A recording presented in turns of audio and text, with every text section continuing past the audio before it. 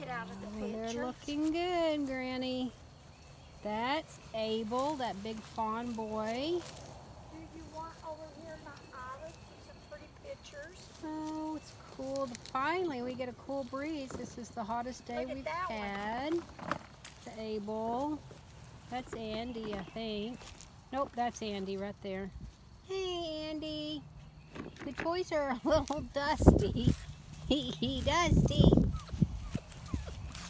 Well, we made a little potty and we made a little pee. Ooh, Abel, you're a pretty boy.